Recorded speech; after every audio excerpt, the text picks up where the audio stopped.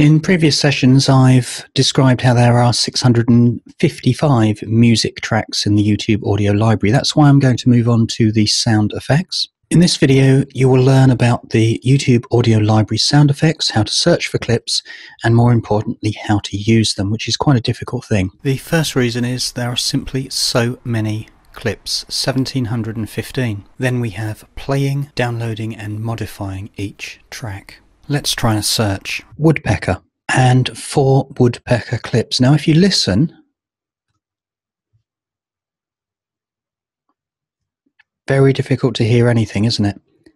Is the clip there? Is it not there? Let me swap over to Audacity with the downloaded clip. I've downloaded the woodpecker pecking on tree clip. I'm going to drag that into Audacity. Now, if I play, you'll see there is some activity, but we can't actually hear it. So, the best way is to look at the waveform and change that to waveform dB, and you'll see it's something like that to play again.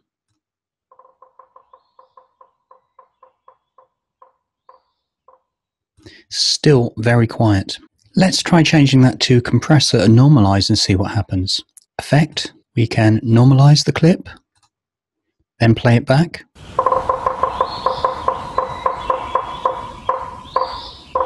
And if we want to, we can say go to compressor 2.